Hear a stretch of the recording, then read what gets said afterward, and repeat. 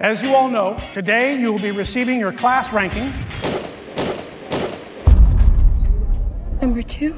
I was under the impression that volunteering for the Special Olympics was extra credit. Why else would I have volunteered? I would hope because you like to help the less fortunate. I need to be number one. It's not up to me, it's the system. Well, the system sucks! What am I supposed to do, Mom? Change them. I'd like to propose the immediate abolishment of high school class ranking. I'm afraid class rank is here to stay. Bernard says she knows you.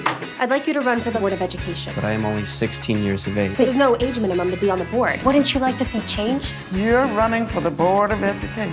I have shoes older than you.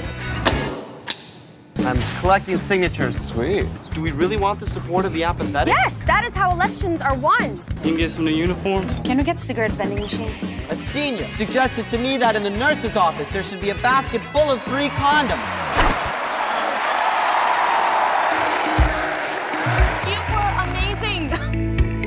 Dude. She's my campaign manager.